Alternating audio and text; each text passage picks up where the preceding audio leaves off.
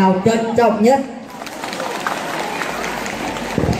Thời gian đã trôi cuối thu này tiết trời bắt đầu xe lạnh phả phất quanh đây một chút hương cuối của mùa của mùa hoa xưa, mùi hương đặc trưng của nước việt. Cái khoảng trời ấy không gian ấy và mùi hương ấy khiến em nhớ tới một ngày đặc biệt ngày của thầy cô ngày của những nhà giáo. Không phải là nắng nhưng vẫn thích chói chang. Cô phạm thị quỳnh như chính là cô một người giáo viên đầy mẫu mực và lòng nhiệt huyết một người mẹ của tập thể lớp 12E với 33 đứa con gồm 16 nam và 17 nữ. Trong 3 năm qua, cô dìu dắt chúng em lên người, chúng em trưởng thành hơn và giúp chúng em trưởng thành hơn và giúp chúng em định hướng trước được tương lai của mình. Để rồi ngày hôm nay, tại chính nơi này, mái trường Diễn Châu 2 này, tập thể lớp 12E xin gửi tặng cô và cùng và cũng như các thầy cô toàn trường và các bạn một tiết mục văn nghệ do lớp trình bày với tựa đề mái đình làng biển. Mời thầy cô và các bạn cùng đón xem.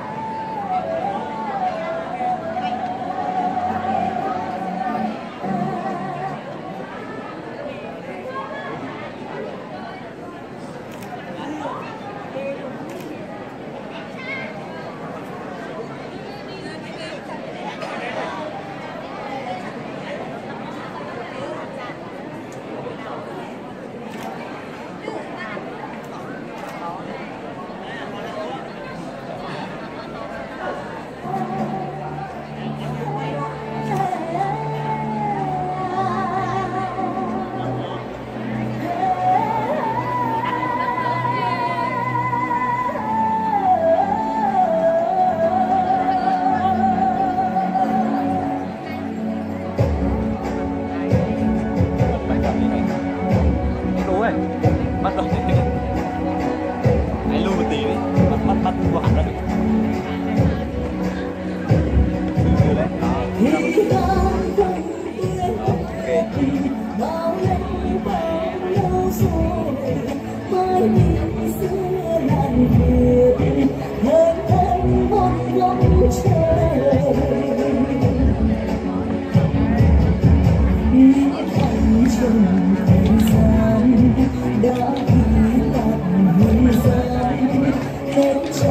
güçlü buldum.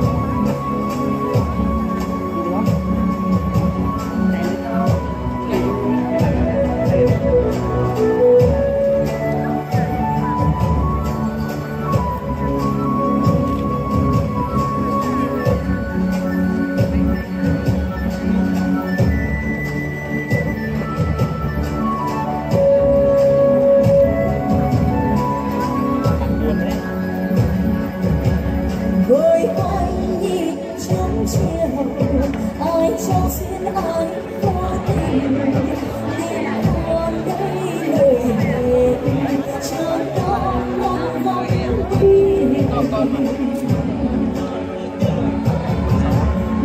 thầm trùng thời gian đã ghi tặng nhân gian nên chạm trùng